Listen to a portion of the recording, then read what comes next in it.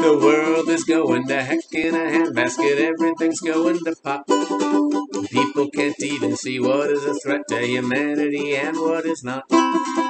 Oceans are rising and hatred is rampant. There's currently more than one war on. Democracy's just hanging on by a thread, and the Senate is chock full of morons. As comedians, we know there's one evil can't be allowed to run checklists. I speak of that greatest of earth threatening perils, political correctness. Millennials these days won't let us say anything, they're all so easily triggered. And comedy now is slated to die because they won't allow me to say certain words. Sir, wealth inequality is at its worst that it's been since Caesar Augustus. But people won't laugh at my offensive jokes, and that is the real injustice. Yes, there are problems with hatred and violence and people without enough money. But if I'm not allowed to punch down at those folks, I'm only borderline funny. And who are these people who say I'm too edgy? Why should they limit my say?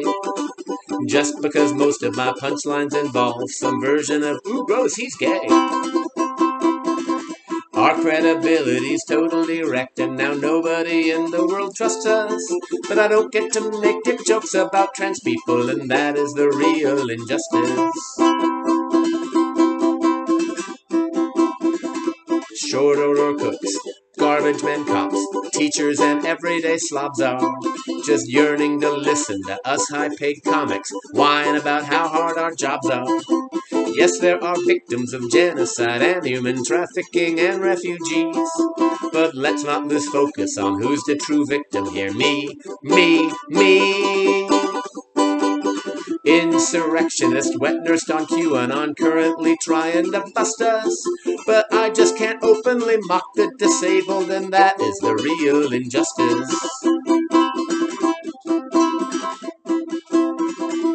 Cancel culture is killing comedy. Free speech is under attack. Everyone needs to fight for my God given right to be a talentless hack.